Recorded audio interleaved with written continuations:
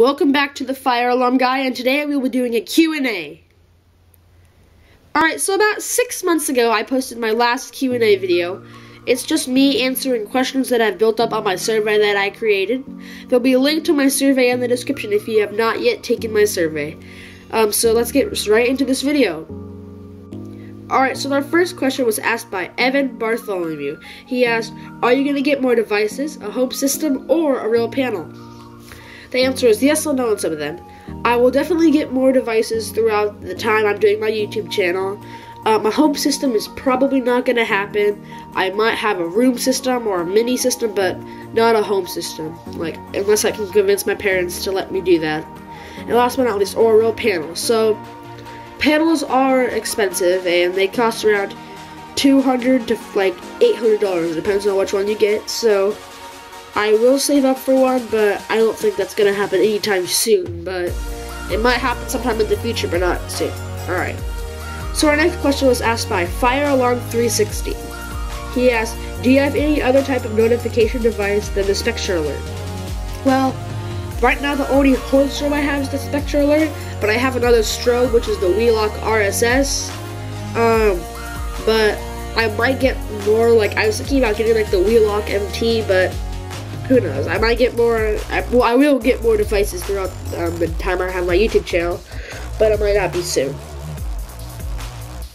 Our next question was asked by FireFreak57. He wrote, "Did you make your own panel? If so, how might I make one?" Um, so there's a lot of videos that I have on how my trouble the thing works and just how it works. It, it's me taking off the faceplate of my panel, and you can see all the wiring and everything. I, will link around three videos in the description that might help you know how to make one. I just got my parts off of eBay and got, went to Radio Shack, but um, hopefully you can make your own panel sometime. Jaden Davis asked, what is your inspiration to start your channel? Well, when I was around seven or eight, um, uh, I experienced my first fire drill at school, and I was scared, but at the same time, I'm like, that was kind of cool and I kind of wanted one in my house. But my parents wouldn't let me set off the smoke detectors because they were so loud, and they went off in every single room.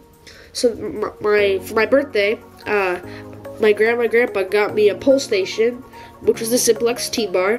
And what I did is I hooked it up to a Radio Shack buzzer, so it ran on like three volts off of just a couple batteries. And then when I pulled the fire alarm, it would just go and set off the little buzzer, and it was really quiet. And I liked it.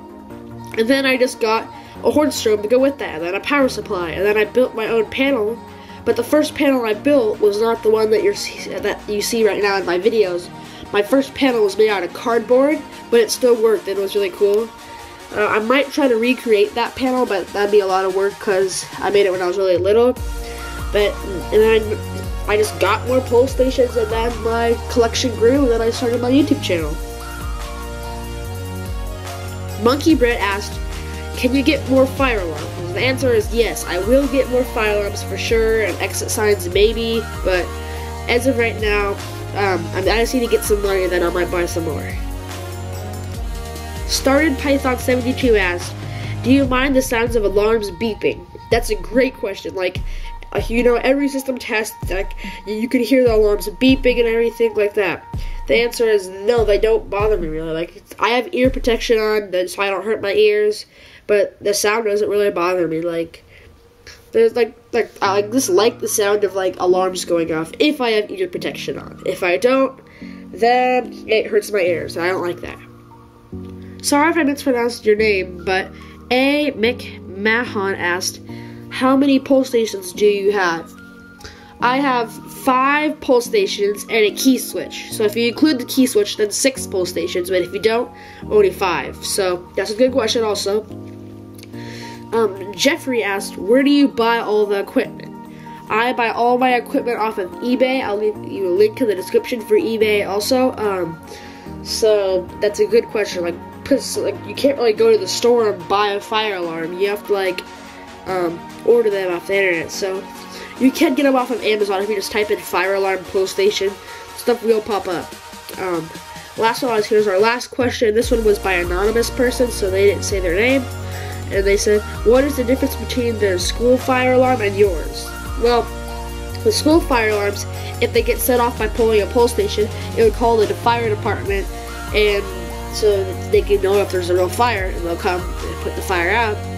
But mine, it just sets off an alarm, and the schools have a real panel and there's probably a lot of other differences. That's just gonna be a whole. I can make a whole other video on that because there's so many differences. But like the devices are all the same. Like when you pull the fire on, it'll set off an alarm. Like the basic idea is the same, but there's a lot of extra features that the school system would do and that mine doesn't. So I'd like to thank you all for subscribing to my YouTube channel, making it a good channel, and answering my survey. If you have not yet taken the survey, there will be a link in the description. Thank you for watching this video. Please like and subscribe.